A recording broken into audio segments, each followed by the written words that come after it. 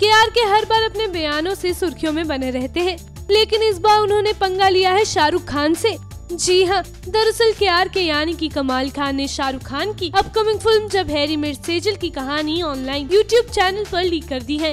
उन्होंने एक video upload कर इस फ़िल्म की पूरी कहानी सुना दी है। इतना ही नहीं, बल्कि उन्होंने इस बार फ़िल्म के हैशटैग को भी टैग किया है। उन्होंने वीडियो शेयर करते हुए कैप्शन दिया है। This is the complete story and my review of film Jab Harry met Sejal Watch an arty for others, please. इस वीडियो को पोस्ट करने के साथ कमाल खान ने आखिर में शाहरुख को कहा कि वो फ़िल्म में छिछोरे लग रहे हैं और ये फ़िल्म सौ फ़ीसदी फ्लॉप रहेगी। के आर के की पोस्ट की गई फ़िल्म की कहानी में कितनी सच्चाई है, ये कहना तो मुश्किल है, लेकिन ये पहला मौका नहीं है जब के आर के किसी अपकमिंग फ़िल्म की कहानी लीक कर रहे हैं। इससे पहले भी वो कई बार ऐसा कर चुके हैं।